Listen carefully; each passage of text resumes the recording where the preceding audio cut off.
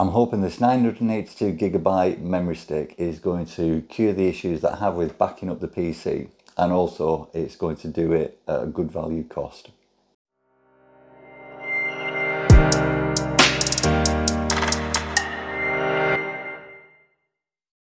I'm a fervent believer in, uh, in backing up the PC and the best way that I've found to do it is with the NAS drive. I've had a couple of NAS drives, they've both worked perfectly. Uh, I keep having to renew them every time I need more storage. However, the third one that I bought was a Western Digital My Home NAS drive. One of the worst things that I've ever bought. So hard to use, so hard to connect to your system. Um, it's just a terrible, it doesn't even come with software to back up over the, over the network. So big recommendation, don't buy a Western Digital My Home. I've been using this in the meantime it's a, a terabyte Toshiba hard drive, which has worked great, but it's a bit cumbersome to be lying around in the in the kitchen. Hence, buying the uh, the 982 gigabyte flash drive. So I'm hoping that this, as I say, is a cost-effective way of backing up until I find a, a decent-sized NAS drive that I can connect to the network and back up automatically. That's my recommendation. NAS drive on the network, backup all the time. Right, let's get it sorted. So this is the flash drive. Let's plug it into the PC and then we'll use some software to do the backup.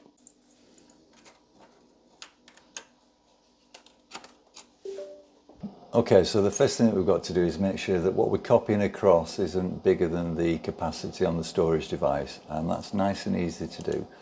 If we open up the File Explorer and I want to do documents, which I have a look at the properties, uh, 161 gig.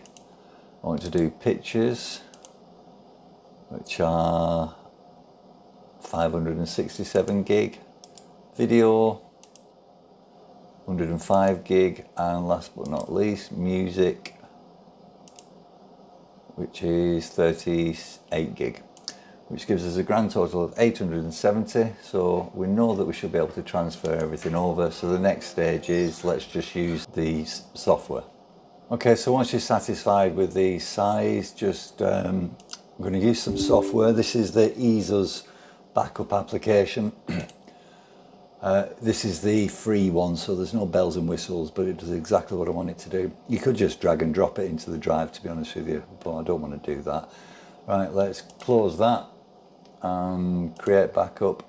I'm going to change it from D. I'm going to change it to F, which is the pen drive. And there's F. And then we need to choose what we're actually backing up. So we're going to File, we're going to Computer, and it's all on the D drive. So we've got Documents, Music, Pictures, and Video. Click OK. So that's what we're backing up. That's where we're backing it up to. Let's press back up now and it should all start. There we go, perfect. Now, it's not going to be the fastest thing in the world, uh, but we'll see how long it takes and then we'll see if everything's transferred across. Right, so that's it, all done. Uh, it took over 24 hours to transfer the 870 odd gig. Uh, very slow, but everything's backed up now.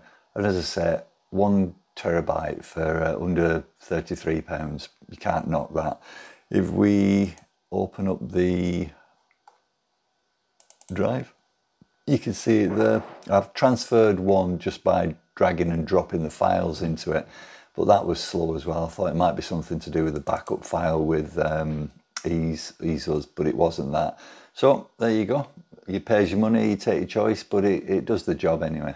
Not too sure if I'd recommend it for uh, for backing up, but certainly just for portable files, does does exactly what it's supposed to do.